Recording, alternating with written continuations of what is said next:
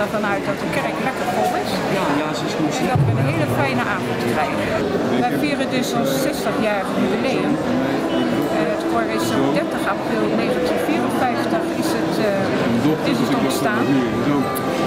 En ja, we hebben momenteel hebben we 47 koorleden. En ja, we hopen dus dat er steeds nog meer. Dat zou natuurlijk heel erg leuk zijn. En dat het Scheveningsvissers Vrouwenkoor nog jarenlang mag blijven bestaan.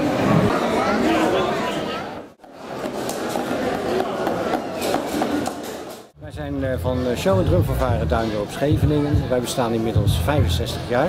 We zijn opgericht in 1949 als de Marsband Duindorp vanuit de wijkvereniging Duindorp.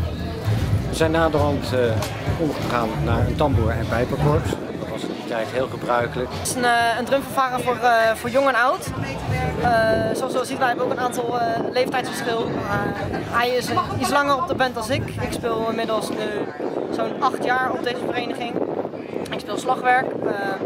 ons programma is ook daarop op aangepast. Zo spelen we muziek ook voor jong en oud. Zo spelen we traditionele Engelse marsen. Maar ook spelen we ook populaire, ja, bekende muziek. Uh, van de nieuwere generatie, wat nu in de top 40 zit uh, bijvoorbeeld. Dus muziek van, van Bruno Mars en van Pharrell Williams, die spelen we ook. En zo maken we het aantrekkelijk eigenlijk voor, voor alle leden.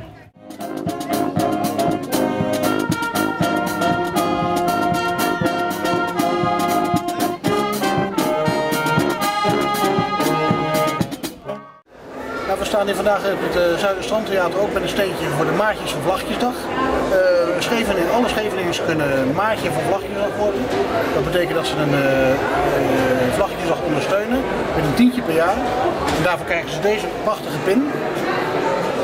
Waardoor ze duidelijk herkenbaar zijn als maatje van Vlaggetjesdag.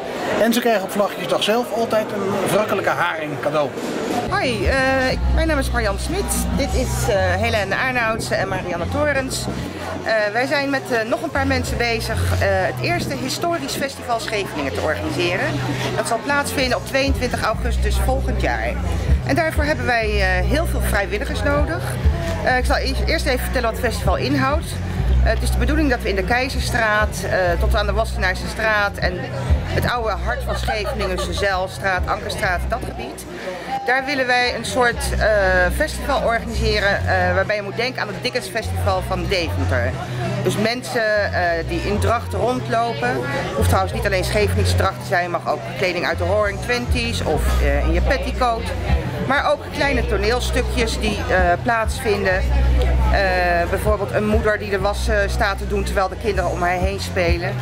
Uh, dat soort, met een wasstobbe, dat soort tafereeltjes. Kleine tableau vivant. Precies. Waar ja. mensen voor zoeken die mee willen doen. En muzikanten zoeken. Wat de komende tijd belangrijk wordt voor Duindorp is dat er betaald parkeer gaat doorgevoerd worden.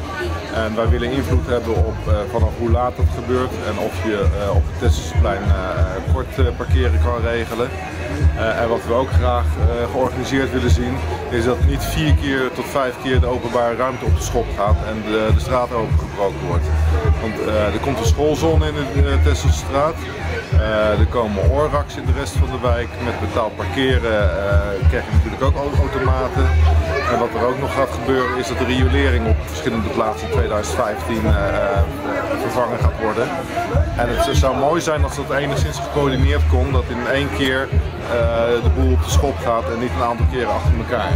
En de, de, de mensen met wie we praten in de gemeente, de verschillende diensten, uh, nou, ik heb niet het idee dat die echt de horloges compleet gelijk hebben gezet. En dat dat nog moet gebeuren. Dus dat gaat de, de komende tijd volop onze aandacht krijgen. Afgelopen uh, jaar is er tumult geweest in Duindorp rondom vermeend racisme en dat soort zaken.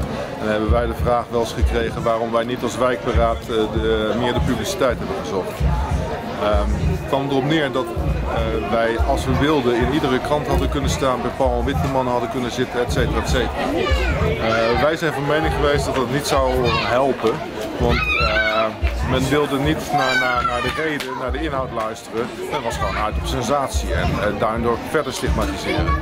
Dus wat wij als wijkberaad vooral hebben gedaan is stille diplomatie. Wel met allerlei media praten, maar niet met gezicht en naam in de krant komen. Uh, maar wel met iedereen praten en het andere verhaal vertellen. Ben je blij met het Zuiderstrandtheater? Nee, absoluut niet. Het wordt, uh, bij ons in de wijk wordt het de bunker genoemd. Het, is, het is, een lelijk ding. Uh, hij staat er maar voor 15 jaar. maar als je op het Zuiderstrand loopt of in de duinen loopt, dan zie je dat ding overal bovenuit steken.